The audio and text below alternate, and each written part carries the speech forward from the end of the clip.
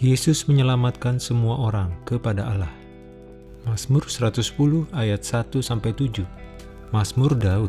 Demikianlah firman Tuhan kepada Tuanku, duduklah di sebelah kananku sampai kubuat musuh-musuhmu menjadi tumpuan kakimu.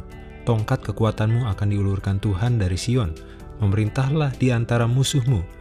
Pada hari tentaramu, bangsamu merelakan diri untuk maju dengan berhiaskan kekudusan dari kandungan fajar tampil bagimu keremajaanmu seperti embun. Tuhan telah bersumpah dan ia tidak akan menyesal. Engkau adalah imam untuk selama-lamanya menurut Melkisedek. Tuhan ada di sebelah kananmu. Ia meremukan raja-raja pada hari murkanya.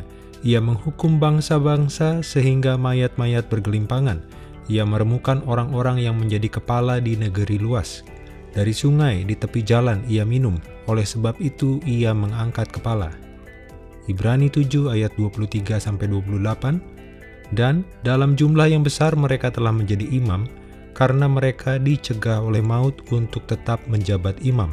Tetapi karena ia tetap selama-lamanya, imamatnya tidak dapat beralih kepada orang lain karena itu, ia sanggup juga menyelamatkan dengan sempurna semua orang yang oleh dia datang kepada Allah, sebab ia hidup senantiasa untuk menjadi pengantara mereka. Sebab imam besar yang demikianlah yang kita perlukan, yaitu yang saleh, tanpa salah, tanpa noda, yang terpisah dari orang-orang berdosa, dan lebih tinggi daripada tingkat-tingkat sorga, yang tidak seperti imam-imam besar lain, yang setiap hari harus mempersembahkan korban untuk dosanya sendiri, dan sesudah itu barulah untuk dosa umatnya.